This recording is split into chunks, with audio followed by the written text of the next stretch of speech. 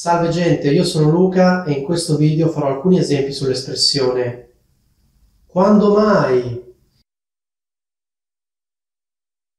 Facciamo subito il primo esempio. Facciamo finta che un mio amico mi dica le arance non mi sono mai piaciute e io incredulo gli rispondo ma come no? Dicevi che erano il tuo frutto preferito e dicevi anche che d'inverno te ne mangiavi anche 3-4 al giorno? E lui mi fa, ma cosa stai dicendo? Quando mai ho detto queste cose? Quindi capite che il quando mai è una domanda, ma è una domanda retorica, cioè fondamentalmente serve per negare quello che è stato detto. Cioè queste cose non sono mai successe. Fondamentalmente lui avrebbe potuto dire ma cosa stai dicendo? Io queste cose non le ho mai dette. Ma facciamo un altro esempio.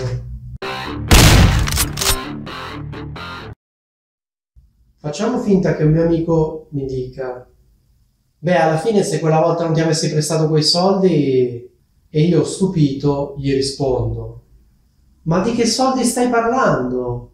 Quando mai mi hai prestato dei soldi?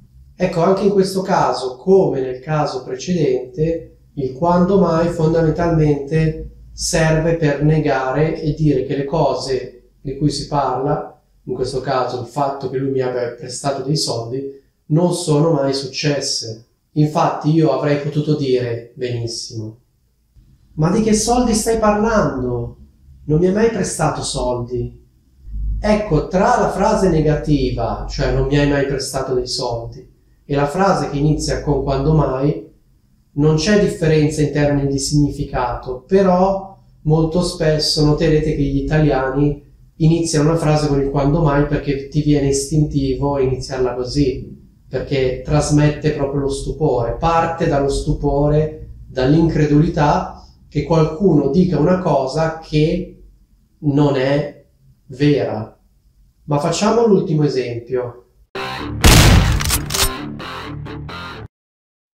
Supponiamo che io dica a un mio amico, ti ricordi quella volta che sei stato morso da uno scorpione? Ma cosa stai dicendo? Quando mai sono stato morso da uno scorpione? Ecco, questi erano gli esempi che volevo fare sull'espressione quando mai. Spero che questo video vi possa essere utile. Vi saluto.